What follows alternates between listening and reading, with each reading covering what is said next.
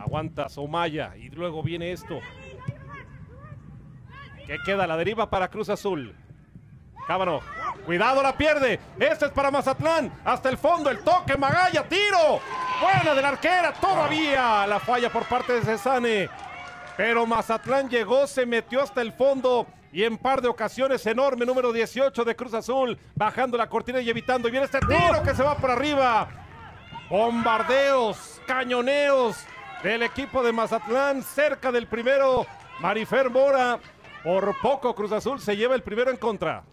Qué buena asociación por parte de la 7 y la 13 de Cesani Tolaquele. Eh, lo decías, ¿no, Ramón? Lo que puede generar esta escuadra mazatleca en esos latigazos. Adelante, me parece son un equipo muy desbalanceado, ¿no? Muy, muy bueno a la ofensiva y todavía le falta más solidez atrás. Pero la respuesta de Amaro es maravillosa, eh, con esa atajada, conteniendo bien al fondo. Tratar de anotar y después protegerse bien. Yo iba a decir, entiendo que es una gran atajada de, de Amaro, pero para mí Cezanne tenía que pecar más de individualista. Tuvo el tiempo para disparar para mí la, la sudafricana antes de darle a su compatriota el balón.